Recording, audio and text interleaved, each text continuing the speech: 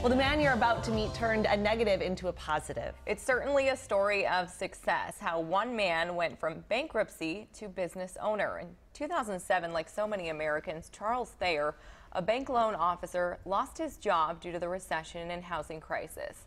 But it's what he did after that makes him a Minnesotan to meet. Ten years ago, Charles Thayer was on top of his game a beautiful wife, an expanding family, a good job at a bank, and a home in St. Michael.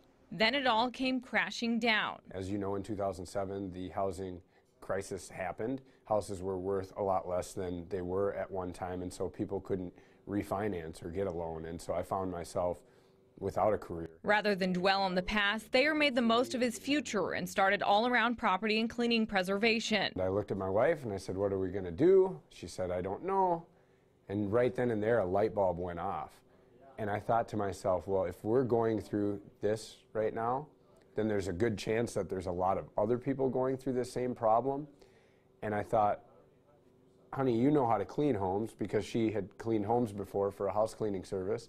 And I know a lot of realtors and bankers and people in the real estate industry. Why don't we rehab homes? And he did just that, picking up any work he could, cleaning out homes one by one until he and his wife couldn't keep up. It took off like a wildfire. I mean, we I started making my first phone calls and in the first week we had cleanouts to do.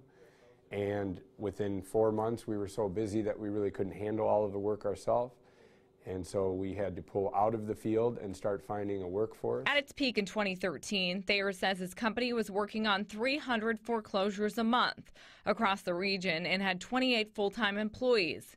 But as the market has rebounded, his company and staffing needs have changed, and now all around mainly focuses on exterior improvements. But we knew that we were in a boom and bust market. Just like the mortgages were booming in the early 2000s, we knew the foreclosures were booming and they would eventually bust. So we knew that we had to take some of our eggs and put them in other baskets. Thayer says while this isn't the career he anticipated, it's one that gives him great pride. It ended up turning into a passion. It ended up turning into something we love to do. When you can stand back and take a look at the work that you've done to a house that may even be deemed as a tear down or a house that it looks so undesirable nobody would ever want to live there and you can clean it up and make it feel great again and make it you know habitable for a new family that's extremely rewarding. So we took that passion that we developed and turned it into our lifelong career now, we wanted to see one of his latest projects uh, that his team was working on in Apple Valley, but unfortunately, due to the bad weather last week, all the roofing work they were doing was yeah. postponed until now, so we didn't get to see that. Not a lot of roofing going on. No, last week. His business was, is also weather dependent. exactly, and last week was a little rough. His advice for a lot of people, though, is just to look for the next opportunity and be prepared for Plan B, because he certainly didn't expect to be doing this for a career, but so far it's working. Great.